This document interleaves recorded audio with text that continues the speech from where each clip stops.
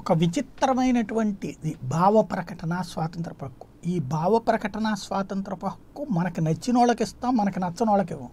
హక్కు అంటే అందరికీ ఒకటే ఉంటుంది కానీ హక్కు అంటే మనం ఇస్తే తీసుకోవాలి అంటే అది హక్కు ఎట్ట అవుతుంది? బెచ్చం అవుతుంది.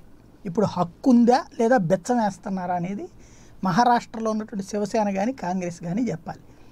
ఓ పక్కన రిపబ్లిక్ టీవీకి సంబంధించినటువంటి మొత్తం టీం మీద ఎఫ్ఐఆర్ నమోదు చేశారు. ఏంటంటే ఏది బార్క్ స్కామ్ జరిగిందని. తీరా చూస్తే ఆ స్కామ్లో ఉన్నటువంటి అసలు పేరు ఉన్నటువంటి టైమ్స్కి సంబంధించినటువంటి దాని విషయంలో నోరే మెదపరు. వాళ్ళకేం భావ ప్రకటన ఉంటుంది వీళ్ళకేం భావ ప్రకటన ఉండకూడదు.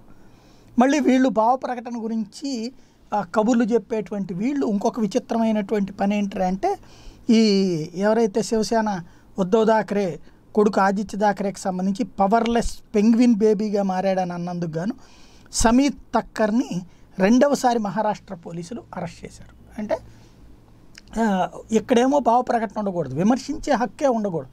వీళ్ళు మాత్రం ఏకంగా ఛానళ్ళని ఛానళ్ళనే మూసేయాలని చూస్తారు కుట్రలు పన్నుతారు వెంటాడతారు వేటాడతారు అవసరమైతే జైల్లో పడేస్తామంటారు ప్రాణాలు తీస్తామంటారు ఆత్మహత్య చేసుకునే పరిస్థితులు సృష్టిస్తామంటారు. ఇదేమో పత్రికా స్వేచ్ఛ భావ ప్రకటన స్వేచ్ఛ.